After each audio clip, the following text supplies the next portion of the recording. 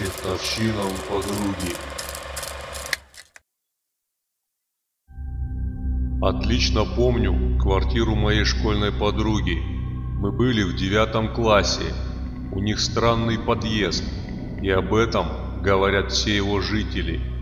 У всех что-то происходит. Частые самоубийства именно вешаются. Странные видения в подъезде. Открываешь дверь, боковым зрением видишь черный силуэт. Поворачиваешься, его нет. Мама той подруги через знакомых нашла в архиве историю этого места. Во время Великой Отечественной войны под домом делали захоронение. Кстати, немного не по теме, но моя бабушка рассказывала, что у нас в Петрозаводске весь Первомайский проспект – это кладбище. До войны там было картофельное поле, а во время войны там делали братские могилы по всему полю. После войны пленным немцам было велено покрыть проспект булыжником, чтобы не размывало могилы, что и было сделано. У подруги была собака, французский бульдог.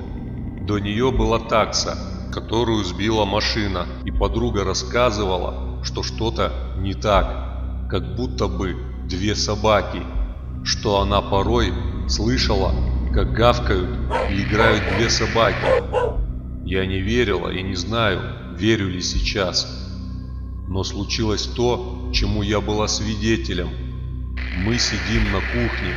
В соседней комнате слышно, как играет с мячиком собака. Цоканье когтей по ламинату. Ну натурально бегает собака. И тут я понимаю, что собака лежит под кухонным столом. Сказал об этом подруге. Посмотрели под стол. Да, ее собака, бульдог, спит. Но в комнате не прекращается беготня. Только встали из-за стола, чтобы посмотреть, шум прекратился. Мы, дрожа чуть не плача, прошлись по квартире. Никого. Ее собака на кухне проснулась и заскулила.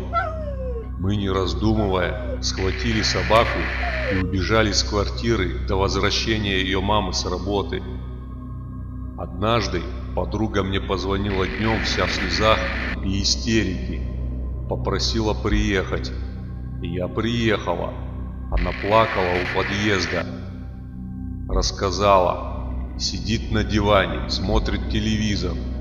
И вдруг из стены выходит туманный силуэт. Идет на нее потом резко уходит в другую стену. Когда она побежала к входной двери, он последовал за ней, но она уже выбежала, отказывалась зайти домой. Я посоветовала им осветить квартиру, как когда-то это сделали мы. Не знаю, сделали ли они это. Вскоре мы перестали общаться. Все эти случаи действительно были. Возможно, я бы подумала, что схожу с ума, если бы видела их только я одна, но я была не одна.